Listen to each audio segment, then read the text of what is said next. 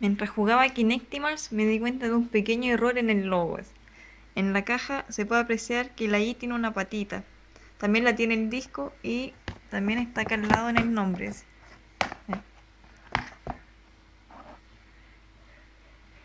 No se distingue mucho porque lo tengo que acercar, pero ahí está la patita.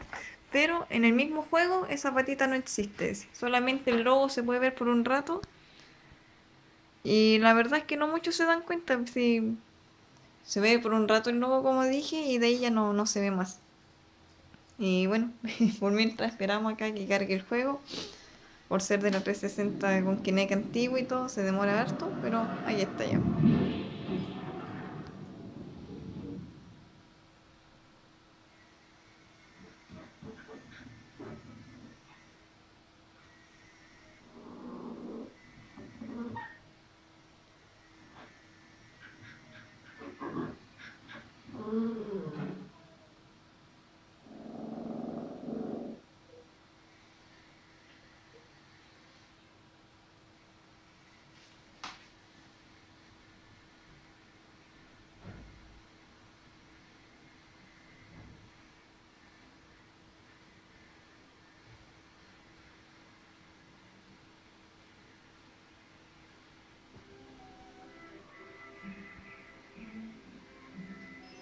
Y ahí podemos ver que la I no tiene patita.